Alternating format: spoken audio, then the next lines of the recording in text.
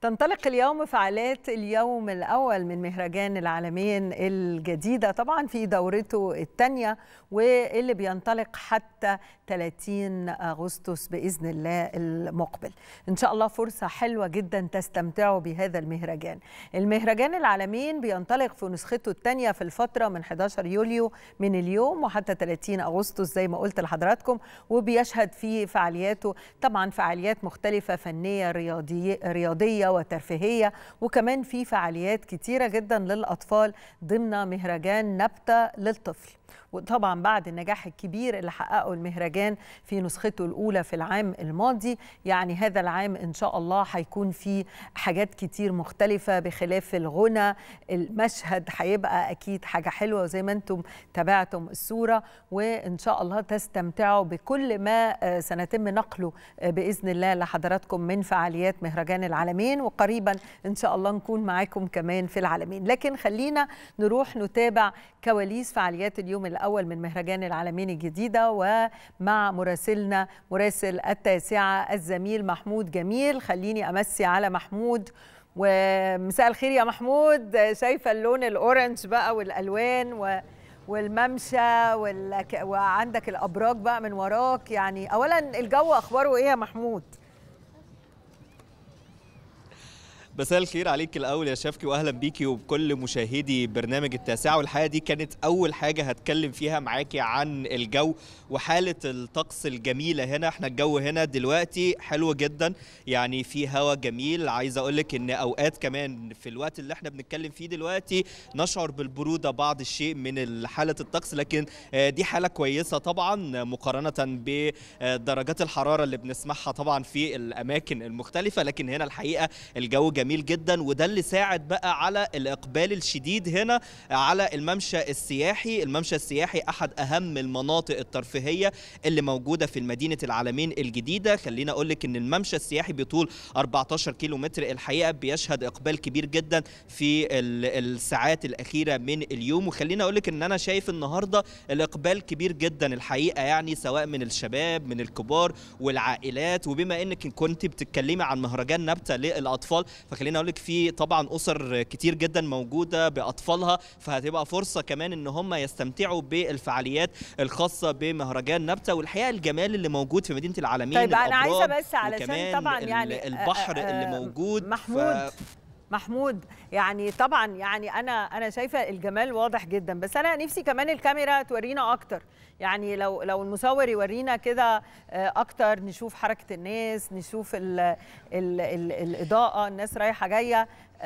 نشوف معاك يعني كده دلوقتي. وبرده سؤالي طبعا. إحساس الناس إيه بقى باليوم الأول؟ متابعين للمهرجان يعني متحمسين لإيه؟ يعني اتكلمنا عن ده. ولو نشوف المشهد أوسع الكاميرا توسع بس الزاوية أكتر يبقى كمان حلو.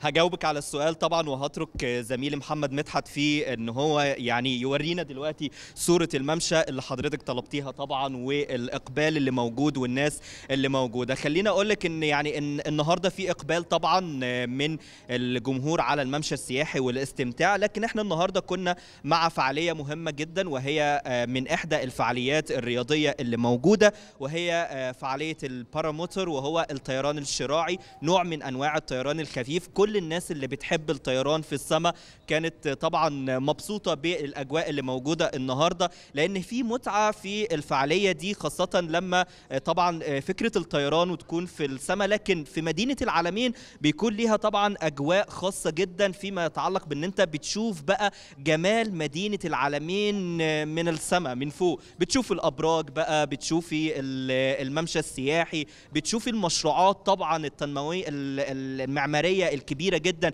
اللي موجودة ومن ضمنها المدينة التراثية والمدينة التراثية دي التابعة لوزارة الثقافة هتشهد عدد من الفعاليات الثقافية المهمة. وخلينا أقول لك كمان إن من ضمن ال ال الفعاليات إحنا عندنا كمان فعاليات كتيرة جدا خلال هذه الفترة وخلال طبعا فعاليات المهرجان الممتدة لحد يوم 30 أغسطس. لكن من ضمن طبعا الحف الفعاليات المنتظرة هو حفل ال King محمد منير اللي هتكون بكرة إن شاء الله في شاء الله. العلمين Arena. وأكيد كل الجمهور متحمس إن هو يكون موجود مع ال King محمد منير. وطبعا الشركة المتحدة للخدمات الإعلامية آه، لا تنسى طبعا الأشقاء الفلسطينيين علشان كده بخلاف طبعا القرار اللي طلع بتخصيص 60% من أرباح المهرجان لدعم الأشقاء الفلسطينيين آه، بكرة كمان مع قبل حفل الكينج محمد منير هيكون في فعاليات للدبكة الفلسطينية وهنشهد طبعا ال- الدبكة اللي كل الناس بتحبها خاصة من الفلسطينيين. هتكون موجودة طبعا على مسرح العالمين أرينا. بالمناسبة دلوقتي بيتم الانتهاء من كل الاستعدادات الخاصة بال stage وبالإضاءة وبالبروفات اللي بتتعمل بتتعمل طبعا في العلمين Arena علشان تستقبل كل الزوار بكرة لحفل ال King محمد منير. آه، بخلاف الفعاليات طبعا آه، هيكون عندنا فعاليات آه، ثقافية وفعاليات رياضية.